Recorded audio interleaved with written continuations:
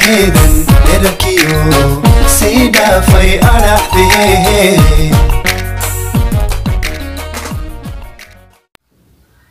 asalaamu calaykum waraxmatullaahi wabarakaatu kulanti wacaana wanaagsan. Markale iyo fiideo cusub janalka aad nagala socotaan waa xabaab family. Ani waa musein soo dhawaada maalin wanaagsan habeen wanaagsan subax wanaagsan galab wanaagsan duhur wanaagsan kullu shay wanaagsan wax kastoo kuuta wanaagsan asxaabtiga cusub soo dhawaada asxaabta hore la joogta sidoo kale soo dhawaada dhammaantiinba soo wada dhawaada dhammaantiin waxaa idin rajanaa inaa ii wada caafimaad qabtaan insha allah insha allah ina keena video cusub ayna wadaa fadlan janalka dadka cusubtaa subscribe noo saar gambaleelka fura like share comment saaxiibadaada la wadaag aada umahadsan tahay dhammaantiinba soo wada dhawaada insha allah ina keena de waxaan aadaynaa dalka mareykanka. In mareykanka waa meesha ugu badan oo qisooyinka layaab kale ay ka dhacaan. Marka ina keena insha allah mareykankaan aadaynaa gobolka florida reer mareykanna soo dhaweeya. Insha allah qisadan waxay ku dhacday gabar lagu magacaabo jolin. Jolin waa hooyo leh saddex ciyaal waana soddon iyo afar jir. Jolin waa single mom. Saddex ciyaale waxay u dhashay nin kale ninka u dhashan way kala tageen. Marka ilmaheeda waxaa haystay aabahood haystay oo loo sharciyeeyo jolin waxay ahayd gabar ka shaqeynaysa meel oo timaha lagu hagaajiyo oo koofeerka timaha lagu hagaajiyo ka shaqeynaysay waxaa dhacday in jolin maalin ninkeedi ninkii hore ilmaha u dhashay ee wacday ay ku tiri waxaan u ilmaheyga inaan wada dabaaldegno because waxay ahayd barasdhegeeda marka waxaan u inaad galabta ilmaha iigu keentid meesha shaqada maqaayad ku taal. Okay buu yiri ninkii isla iska xarood shaqadeedii gashay asigana markii habeenkii toddobadii fiidnimay ballameen isla markii uu keenay nusu saaca ee ka soo hormar yani waqtiga ballameen ilmihii meesha keeno taleefonkeedu wacay taleefonkeeda malahan wuu wacay malahan marka dambe wuxuu wacay hooyadeed uu ku yiri gabadhaadii waanu ballanay mana lahan. Waxaan u gabadha waxaan u baahanaha gabadhaadii marka aawey waxay ku tiri gabadhayda ani ayad waan ballanay aniga naftirkeyga waan soo socdaa laakiin ma aqaano way wacday ayadii haddana way weys way ku soo celisay tiri gabadhi waan waay anigana safar baan soo ahay. Marka ayadana gobol kale ka imaanaysa mareykanka dhexdiisa laakiin gobol kale ka imaanaysa marka waxay tiri iska bax ee ilmaha wad anaa kaa soo doonaya dhib malaha markii aan helo waa lagaa soo doonaa. Okay buu yiri gabadhii waa la waayey habeenkii sidaasaa lagu waayay maalintii marka waaga bari gabadhi hooyada waxay wacday booliska booliska u sheegtay in gabadheeda maqantahay een u baahantahay in gabadheeda in loo baadi goobo. Isla marka booliska gabadhi waa la raadiyo meesha ugu dambeysa oo jolin joogtaa la tagay oo ahaa yani meesha oo timaha lagu hagaajiyo saaloonkii. Marka saaloonka loo tagay dadka saaloonka laha waxay yidhahdeen gabadhaas way maqan tahay. Shalay toolaan noogu dambeysa maanan arkin isla markii marka booliski waxay bilaabeen inay baaritaan sameeyaan kaamirooyinka la fiiriyo.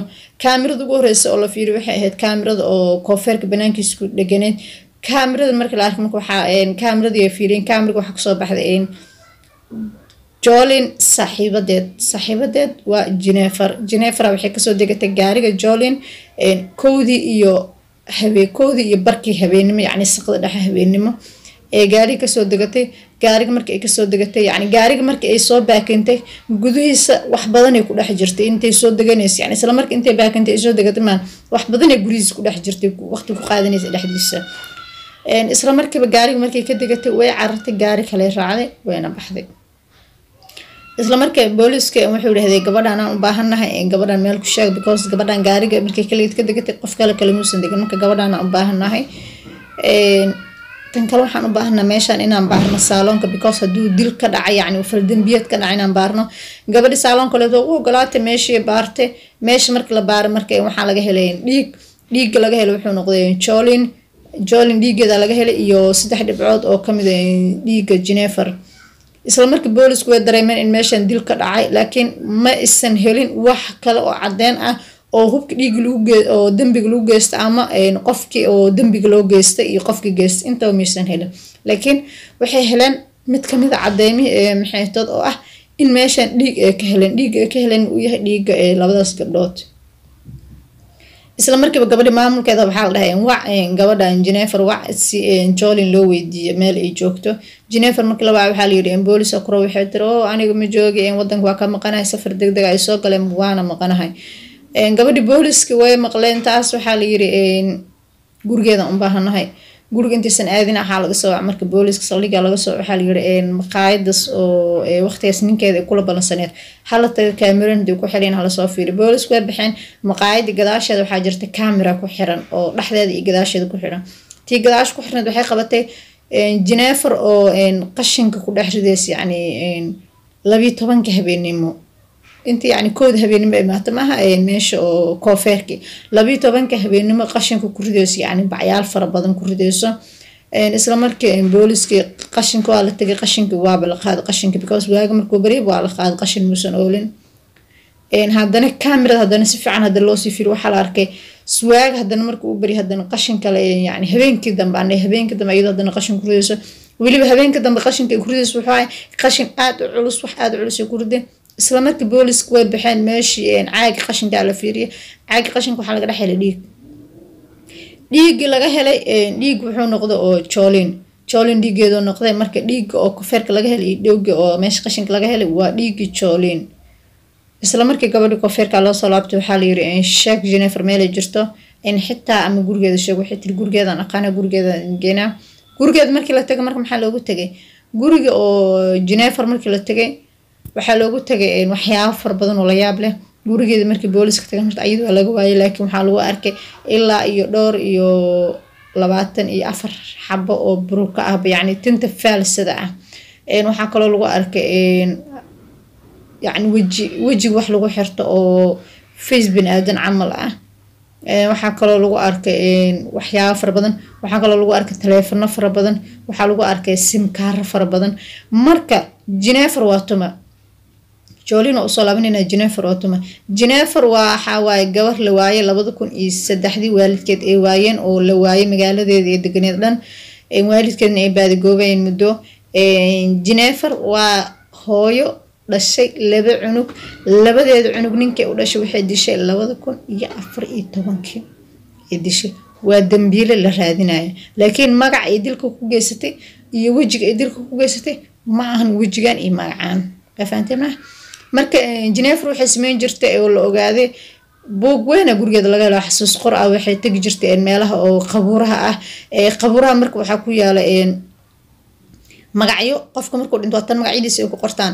Magacyadii tegaysaa magacyadaas soo qoranaysaa magacaas qofkaas da-duu jiro ay soo qoranaysaa. Buugay wadataa oo gurigeeda u yaalla buug weyn oo dadka magacyadooda ay la baxda ah. Ilaa sidii la sheega ilaa iyo koob iyo soddon magac ay la baxday. Ilaa koob iyo soddon facena way isticmaashay isla markiiba boolisku gartay jenefer inay lahayd magac kale magacaasna ahayd magacii lagu baadigoobaye waa la raadiyey si fiicana loo raadiy waa la soo helay ayadoo ka sii baxsanaysa dalkii oo dhoofeysa waxaa lagu qabtay garoon diyaaradeed. Waa la soo qabtay waa la keenay. Marka marka la soo qabtay oo la keenay waxaa soo baxday cadeemo kaloo fara badan. Gabar ka shaqeynaysa saaloonka ah waxay tiri markii jolin iyo jenefer waxaa dhacday habeenkii yani maalinta uu dilka dhacay maalinta ka horeysay jolin waxay ka shakiysay gabadhan jenefer because marka lacagta la bixinayo ama marka meel laga wada shaqeynayo oo wax la sameynayo jenefer markii la dhaho isla marka ma soo jeesanayso. Ee adigaa lagu waca in la dhaha mooye yani ma soo jeesanayso. Marka jolin waxay tiri gabadhan magaca jenefer ayada lama dhaho laakiin magacan waxaan u baahanahay qofka la dhaho iyo gabadhan magaceed rasmiga waxa uu yahay. Gabadhan marka jenefer waxay ogaatay gabadhan jolin inay dabagal ku hayso ee rabtay gabadhan magaceed rasmiga iyo qofka ay tahay waa kuma jenefer waa tuma jenefer waxaas dhan yarta inay ogaato marka jolin jenefer marka waxa gabadha inay disho ku qasbay waxay noqotay yani sirteeda ee dabagelaysa iyo arinteeda ee rabtay inay kashifto in la kashifo darteed ee diidaysa ee u dishay. Marka inta ku dambeey dhiig meydka oo jolin jolin isla booliska waxay la xiriireen yacni qashinka ee gawaarida qaadadada darwalo ka asax darawalkii meeshaas qashin qaadisteed markii la weydiiyey qofka ku qornaa lala xiriiray meesha qashinka lagu daadiya tageen meesha qashinka lagu daadiya waxaa laga soo helay meydkii jolin meydkii jolina laga soo helay oo bahal cunin waxba cunin way dishay meesha dhigtay midiya gadaal dhabarka dambe kaga dhufatay way dhigtay saasay ku dhimatay gabadhii isla marka meedkeeda marka la soo helay jenefer waxaa layiri noo waran sidee waxu jiraan noo sheeg yacni dadki intaasoo markhaatiya kugu furan iska dhaaf laakiin afkaada ka cadday waxay tiri ani jenefer ma ihi heblaayaan ahay. Heblaayo waqtigaas la waaye hooyada iyo aabaheen cadaadis kala kulmay hooyada hooyada iyo aabaheed cadaadis kala kulantay. Marka cadaadiska aan kala kulmaa waxay ugu qasbay in gurigani aan ka cararo oo aan noqdo ciyaalo suuqad ama saaqidad. Saas ay ugu kaliftay waxaanan ahay iblaayadii la raadinaya muddada oo ay kaasaa isla markii jenefer waxaa lagu xukumay xabsi daacin because dembi hore oo nin ayada qabay ilmo u dhashan weydiisha waa loo haystay waa loo raadinayay. Gabadhan jolin edition waa loo qabsaday. Jenefer waxay martay xabsi daacin jolina sidii lagu aasay. Marka waa dhacda aada u yaab badan oo aada u xanuun badan qof kula shaqeeyo oo haddana magaciisa aanu kugula shaqeyna magacyo been kugula shaqeysana waa dhibaato marka insha allahu qishada jolin iyo jenefer intaasay ku dhan tahay sawirada oo jolin iyo jenefer kola idiin soo wada saari doona video wata We found some camera footage that showed Jolene's vehicle being parked around 1:17 a.m. Sunday morning.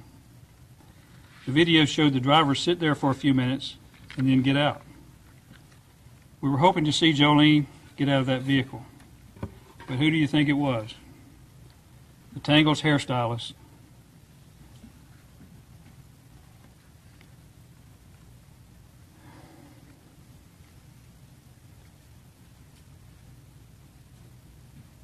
Who was supposedly the last person to see Jolene. We began immediately to go around the businesses in the area, trying to see if we could get any additional information. In addition to following up on all leads and evidence we were receiving, we were trying to locate Seibert. This individual was known as Jennifer Seibert, J E N N I F E R S Y B E R T. Through our investigative techniques, we finally located Cyber and her vehicle, which is a 2016 Kia Soul, black in color. We found her at the northbound I-95 rest area in St. Johns County on Wednesday evening, May 16th, parked between two other semi-trucks. She had apparently been living in her car at various locations. Based upon the surveillance video of her driving Jolene's car, we arrested her for grand theft auto, and she was booked into the St. Johns County Jail and ultimately brought back to Nassau County. Through our investigation, we have obtained evidence which we are not releasing at this time, which leads us to believe Jolene is not alive. We have subsequently found out that Seibert's real name is Kimberly Kessler, K E S S L E R, date of birth May 9th, 1968, and she is from Butler, Pennsylvania. She had also been using a fake Social Security number. She has since been charged by the FBI with a federal offense of possession of a counterfeit passport. Kessler is a suspect in the disappearance of Jolene Cummings. We are working to obtain all and gather all evidence we possibly can related to this incident, and additional charges are forthcoming. gelinayo insha allah dhammaantiin aada u mahadsantiin dhammaantiin waxaan idin leeyahay one love dhiman guushaha la gaarsiiyo subscribe-kiina aan arko like-tiina aan arko. Insha allah like-tiina ani waxay ii tahay dhiirigelin. Commentigiina commentigiina ducada iyo dhiirigelintan aadan ugu farxaa yeesan idila noqonaa commentigiina inta akhrista aan aamuso laakiin commentigiina markasta aan akhriyo waxaan sii galayso dhiirigelin. Marka dhammaantiin waxaa leeyahay aada u mahadsantihiin. Guushayda waa guushiina guushiinana waa guushayda marka dhammaantiin waxaa idin leeyahay wallove aadan idin wada salaama aadan idin wada jeclahay. Bye